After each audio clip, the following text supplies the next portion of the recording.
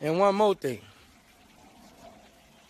When they pull a van over leaving after they took after they took uh, a couple of my partners to jail or whatever, my jury sack was in there. Over a million dollars worth of jury. Now they're saying no jury sack was in there. So it's it, it, it, this this this shit is big, man. You know.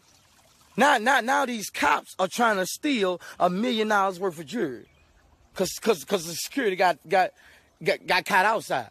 Catch me outside, how about that? but you know, now you want to steal a million dollars worth of jewelry from me. You know. But it but but but but I'm gonna fight for mine till I, I, it, it, it's on.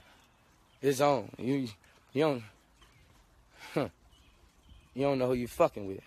It's on. It's on. You want to steal from me? Mace my family. You know, now you want to take my shit, it's on.